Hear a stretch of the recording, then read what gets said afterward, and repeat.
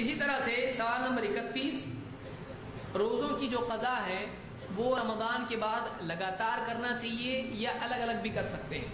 یعنی جمعہ کا روزہ چھوٹا تھا تو جمعہ کو ہی رکھنا پڑے گا، ایسا ہے کیا؟ نہیں، ایسا کچھ یا ایک ساتھ تین روزے چھوٹے تھے تو ایک ساتھ تین رکھنے پڑیں گے، ایسا ہے؟ نہیں، ایسا نہیں۔ بلکہ جتنے چھوٹے ہیں، ان کو آگے کے دنوں میں جس طرح سے چاہے رکھ سکتا ہے۔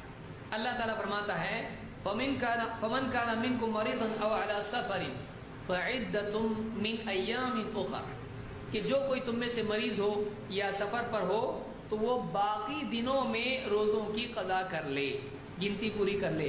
تو باقی دن پورے رمضان کے بعد سے اگلے سال تک اس کو مل رہے ہیں، جب چاہے وہ اس کی گنتی پوری کر سکتا ہے۔ ابن عباس رضی اللہ عنہ بخاری کی روایت میں کہتے ہیں، لا بأس ان يفرق ان يفرق. لقول اللہ تعالی فعدت من ایام اخر، کہ اگر کوئی آدمی روزوں میں تفریق کرتا ہے، آج ایک رکھا، پھر اگلے ہفتے، پھر اگلے مہینے ایک رکھا، اس طرح سے اگر کرتا ہے، تب بھی کوئی حرج نہیں۔ اس لیے کہ اللہ تعالیٰ نے فرمایا ہے، گنتی کو دوسرے دنوں میں پورا کرے۔ رمضان کے علاوہ کسی بھی دن میں وہ روزہ رکھ کر گنتی پوری کر سکتا ہے۔ یہ بخاری کی روایت سے